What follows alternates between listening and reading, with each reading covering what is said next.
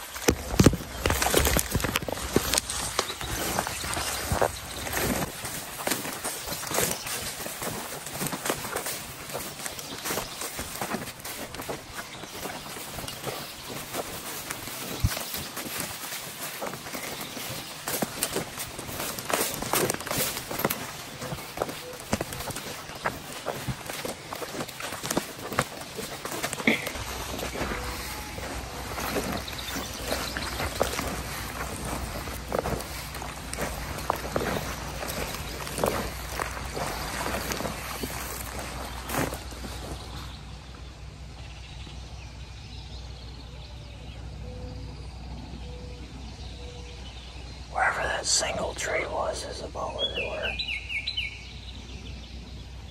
Like 120 yards off the road right now. So it should be relatively straight front.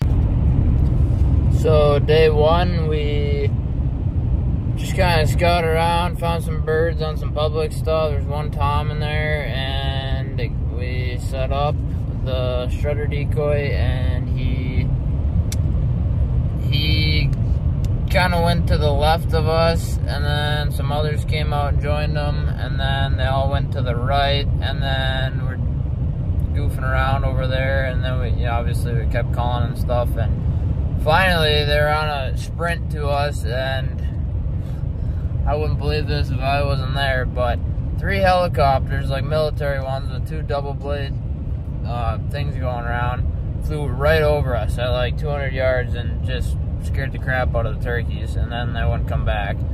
That was the first uh, thing I did with any turkeys out here. Then uh, we found some more birds on some public stuff and uh, set up on one side of the field, called. we don't think they heard us or saw us, so we went closer. Actually, we belly crawled like 200 yards, 300 yards, set up on that side. Still didn't think they could hear or see us. So then we got in this creek bottom and started sneaking towards them, and uh, got to where we kind of had them marked as of where they were in the field, which was some old logs that were piled on the side of the field. And uh, Dalton stood up and he saw them, and the one Tom was at like 30 yards. So I crawled up there and I heard a hen cluck on my left, and then I heard a gobble. So I thought that Tom was on the left with her, so I drew back that way.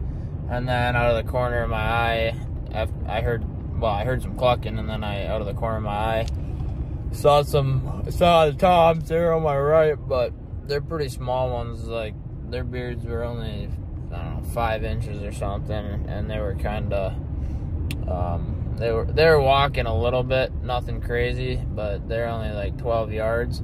And uh, I, I never shot. Their beards are pretty small, and I didn't really want to shoot. So that kind of sucked because of all the work we did to get there, but it was cool. And then this morning, we roosted a bird last night on some private, and we went in there and put a blind up. And there's two trees that birds were roosted in.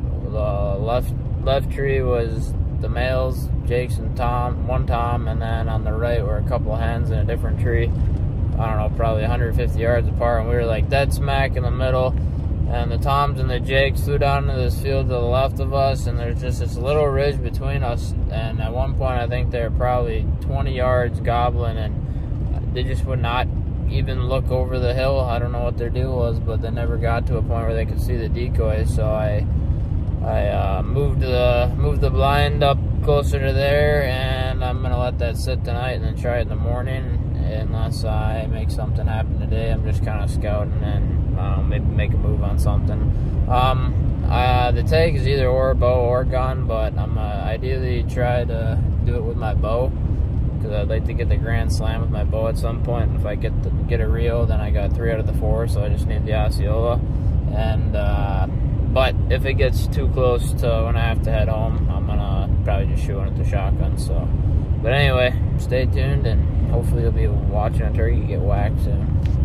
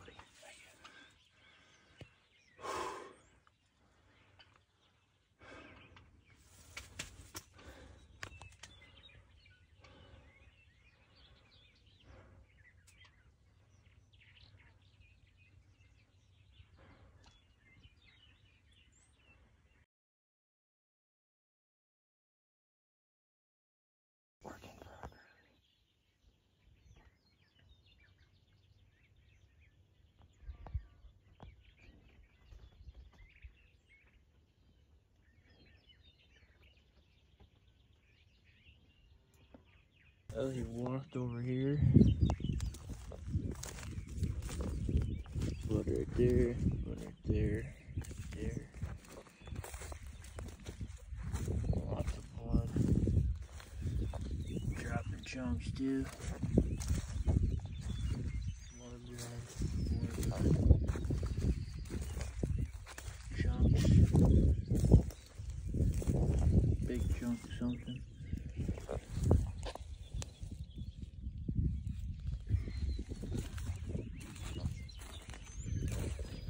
More blood. More blood.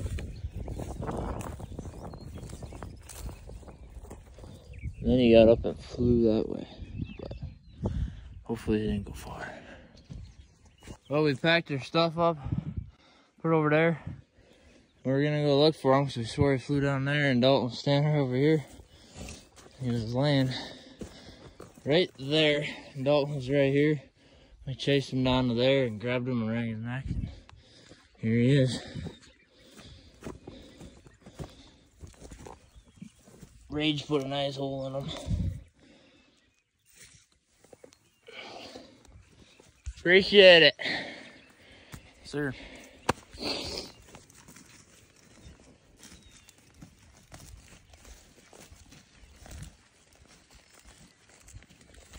Well, scouted all day yesterday.